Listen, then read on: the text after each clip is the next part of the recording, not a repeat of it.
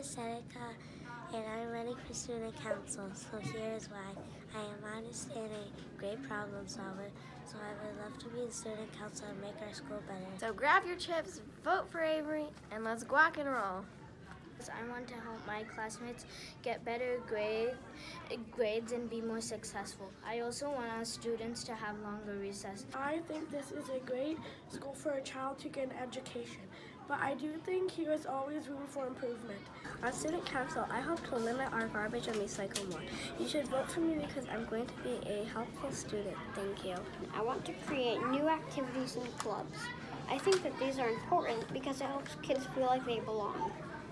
I will help the school be more earth friendly. For example, I will get more compost bins and recycling bins in the classroom and lunchrooms. I'll make a suggestion box and check it every week, and I will work hard to bring back Eagle extravaganzas. If I get elected, some of the things on my to-do list would be to make some of the buddy benches for people that feel lonely, establish a student newspaper, the Eagle's Eye, that would be entirely created by Allen students, and best of all, schedule an amazing end of the school year dance party. I'd like to share one more thing before I go.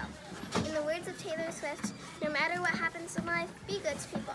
Being good to people is a wonderful legacy to leave behind. So don't be a papaya and vote for Maya.